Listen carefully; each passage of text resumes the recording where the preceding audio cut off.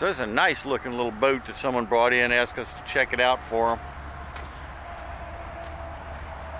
They're asking 3000 for it, and he wanted to bring it here and ask us about it to see. At least he's smart, he hadn't paid for it. And if you've watched any of my videos, there it is. You can see that the uh, transom plate is warped and pulled out. You can see that classic little spot right there we've talked about. You can see how it's sucked in right there and that's pulled out. You can tell how that's broken right there and this is pulled out right there. And watch this.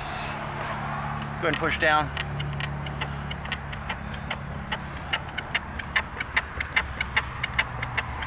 So, good looking boat.